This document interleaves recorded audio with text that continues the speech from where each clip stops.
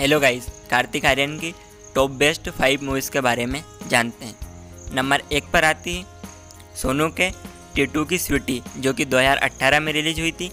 इसके डायरेक्टर है लू रंजन राइटर है राहुल मोडी और लू रंजन।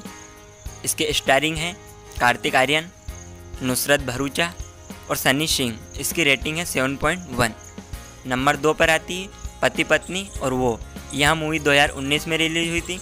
इसके डायरेक्टर है मुदस्सार अज़ीज़ राइटर है मुदस्सार अज़ीज़, और इसमें एक्टर्स हैं कार्तिक आर्यन, भूमि पडनेकर, अनन्या पांडे और अपार शक्ति खुराना। इसकी रेटिंग है 5.7 नंबर तीन पर आती है लुका छुपी यह मूवी 2019 में रिलीज़ हुई थी। इसके डायरेक्टर है लक्ष्मण उटेकर राइटर है रोहन शंकर और स्टारिंग कार्तिक आर्यन, कृति सोनन, अपार शक्ति, शुराना और पंकज त्रिपाठी। इसकी रेटिंग है 6.3 नंबर फोर पर आती है, प्यार का पंचनामा। यह 2011 में रिलीज़ हुई थी।